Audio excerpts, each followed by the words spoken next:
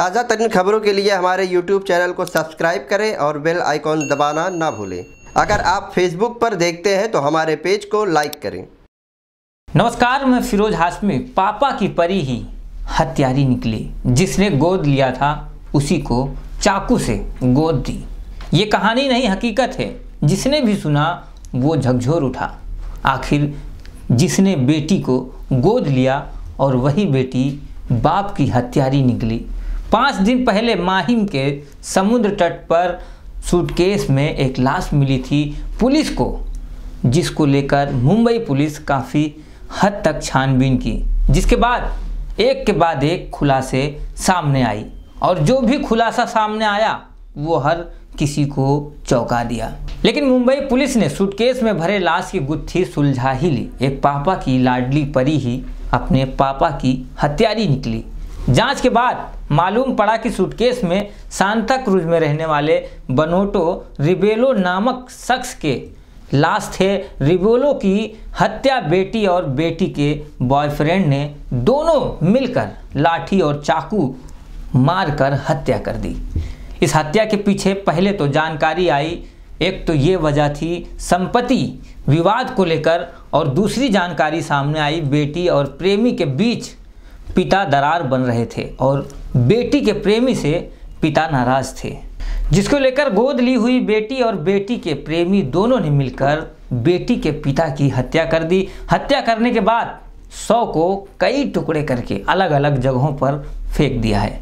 लेकिन Mumbai crime branch को एक सूटकेस मिली माहिम समुद्र के पास, जिसके बाद मुंबई पुलिस गहरी छानबीन की सोशल मीडिया की मदद से टेलर की मदद से तो पूरे मामले का खुलासा हुआ। खुलासा होते ही पापा की परी, बेटी और उसकी प्रेमी को गिरफ़्तार कर लिया, जहाँ दोनों ने इस हत्या के पीछे की राज जो है, जो हत्या के पीछे राज था, उसको कबूल किया।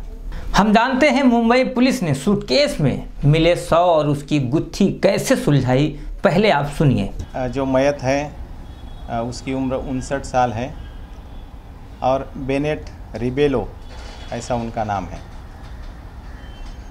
इसमें जब हमने पैरल इन्वेस्टिगेशन शुरू किया तो उस बैग में हमको जो दो दो शर्ट मिले, उसमें एक टेलर मार्क था और ये टेलर मार्क जिस दुकान से है, उस दुकान कुरला एरिया में था तो उसको पहले हमने ढूंढ निकाला। उसके मालिक को पूछताछ करने के बाद उसने लगभग सौ ऐसे बिल बुक हमारे सामने पेश किए जिसमें कोई भी यदि कपड़ा सिलाता है तो उसका जो कपड़े का सैंपल है उसको पेस्ट करके उसको स्टैपल करके वो रखते हैं। तो ऐसे बिल बुक हमारे सामने आने के बाद आ, ये जो शर्ट हमको सूटकेस में मिला था उसके साथ मैच करने की आ, मैच करने का प्रयास हमने किया। तो एक आयुब नाम का जो आ, लड़का है उसको हमने ढूंढ निकाला, लेकिन आयुब का जो शर्ट है, वो उसके घर में मौजूद था। तो वो पॉसिबिलिटी जो है, वो वहाँ पर इलिमिनेट हो गई। जब हम और आगे गए तो एक, और एक रिकॉर्ड हमको मिला, जिसमें उस बिल बुक पर बेनेट ऐसे इसम का नाम लिखा था, लेकिन उसका एड्रेस उसका कॉन्टैक्ट नंबर कुछ भी उसमें मौजूद नहीं था। तो आगे जाके हमने आ, सोशल मीडिया की इसमें मदद ली और फेसबुक पे इसी नाम से कोई अकाउंट रजिस्टर है क्या इसकी जानकारी लेने के बाद हमको बेनेट रिबेलो नाम से एक अकाउंट फेसबुक का फेसबुक पे मिला। उस अकाउंट से हमको तीन बातें मिली। पहले तो उसने जो पोस्ट फेसबुक पे दी थी, उसमें, उसका एक सिग्नेचर भी था। वो सिग्नेचर और टेलर के दुकान में बिल बुक पे जो सिग्नेचर था, वो वहाँ पर मैच हो गया। दूसरी बात फेसबुक फेसबुक के ऊपर उसका एक फ़ोटो था। फ़ोटो में उसने स्वेटर पहना था और सेम वही स्वेटर उस बैग से, उस सूटकेस सूटकेस में हमको मिला था। और तीसरी एक बात बहुत इंपॉर्टेंट हमको ये मिली कि उस आदमी का पूरा नाम, उसका कॉन्टैक्ट नंबर और उसका एड्रेस हमको उस रिकॉर्ड से मिल गया। तो इस एड्रेस पे जाके फिर हमारी पुलिस ने उसकी और जानकारी जुटाने के बाद ये पता चला कि ये बेनेट रिबेलो ही है। ये यहाँ पर वाकोला एरिया में रहता है। भी जानकारी मिलने के बाद फिर उस लड़की को हमने ढूंढ निकाला।